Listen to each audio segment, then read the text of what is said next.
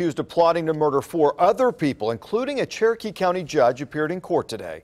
2 News reporter Brandon Richards spoke with relatives of one of the men charged. It's only on two. Well, the four defendants appeared in court today for their preliminary hearing. One of them turned state's witness. Meanwhile, the family of another describes the last two months as very painful, unable to speak with their son. When District 27 Drug Task Force agents raided this Tahlequah apartment, they found something they weren't expecting a hit list written on a note card. Agents say it mentioned four people as targets, including a Cherokee County judge. All four mentioned are involved in a child custody dispute. Agents say on the other side of that dispute, 19 year old Martina Williams.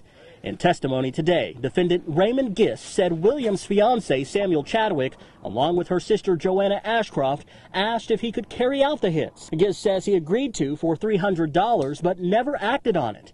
In fact, he says he started working with police to set the other three defendants up not surprising at all. He's doing what he has to for himself. While Gist's testimony didn't surprise Samuel Chadwick's mother, she says the jail not allowing her son to contact his family did. You know, we can't even find out if he's doing okay.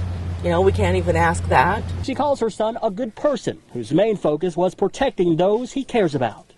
He's uh, very caring, very loyal to his friends, very protective of his friends and family he's just not that type of person to, you know, go out and do something against someone like that. Now, all four defendants face several counts. The two men are expected back in court on August 21st.